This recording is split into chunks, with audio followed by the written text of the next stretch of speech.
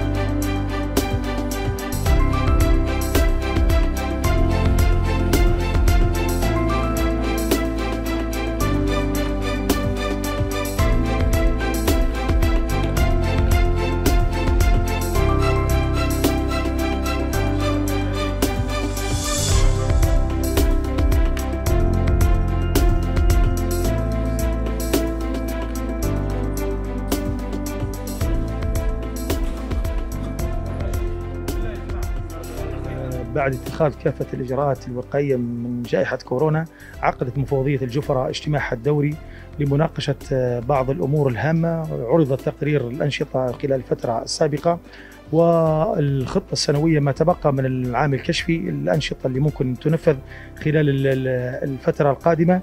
الحقيقة وفي بعض المتعلقات اللي تم مناقشتها وبعض الأنشطة وتفاصيلها واستلام عدد من التقارير الأفواج في بعض الأنشطة المختلفة. آه، وتم تكريم بعض القادة اللي كان لهم دور مميز في آه، توعية من أخطار آه، جائحة كورونا خلال الفترة السابقة. طبعا شاركنا اليوم في اجتماع مفوضية جفر الثاني تم فيه العديد على الاتفاق على بعض الأنشطة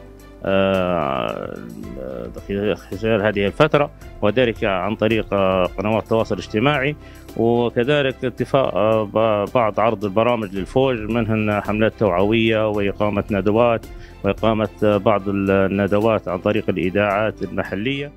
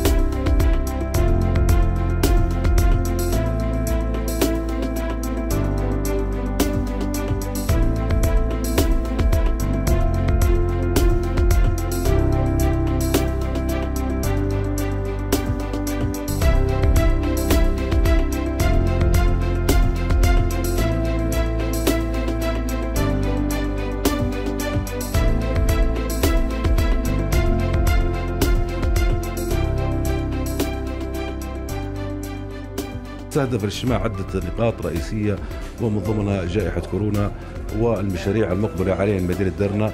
وكان معنا كذلك مدير الغرفة الأمنية رئيس الغرفة الأمنية مدينة درنا ومدير أمن مدينة درنا للاطلاع على الأحوال المشاريع وكذلك لتبين الرؤى للجميع فيما يتعلق بهذه المشاريع التي تقدم التطور لمدينة درنا من ناحية الطرق من ناحية صرف المياه الأمطار صرف المياه الأمطار وكذلك جميع ما يتعلق بالمواطن كعامة.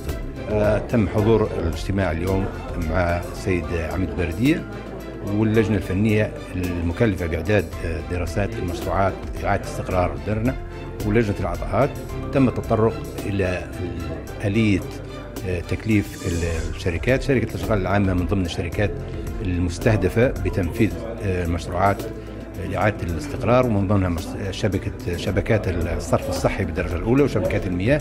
تم الاتفاق عليها وحيتم التعاقد مع الشركة في المرحلة في الأيام القادمة إن شاء الله. جزء من المشروعات بشرنا في تنفيذها مشروعات الصرف الصحي وخاصة مشروع ذي الوادي. ونسبة الإنجاز فيه ماشية حوالي 40% الآن. الإجراءات اللي خذيناها نحن كحرس بلدي اختراعات تحذيرية لازم يلبس الكمامة يلبس القفازات الابتعاد الزحمة. هذين كلهن وجهنا عليه تم قفل صلاة الأفراح والمناسبات بتاعت شركيات الأفراح حتى أنه صلاة الأفراح بصفة عامة تم توجيه قافل وانذارات لهم بالكامل. والمحلات حتى أن تم توعية وتم وتنفيذ الحظر من الساعة السابعة مساء للساعة السابعة صباحا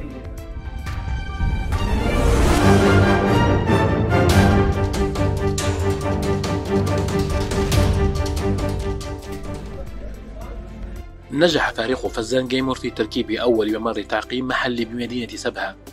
هذا المشروع كان بدعم من ال UNFPA صندوق الأمم المتحدة للإسكان ضمن الحملة التي ينظمها شباب فزان جيمر تحت شعار شباب ضد كوفيد 19 عندنا خدمنا فكرة ممر التعقيم هذا أنا والشباب لمدة أسبوعين. كانت في صعوبة في البداية حقيقة لكن اجتزنا هذه الصعوبة وأنجزنا هذا الإنجاز. واليوم جبناه سلمناه العيادة المجمع حي عبد الكافي.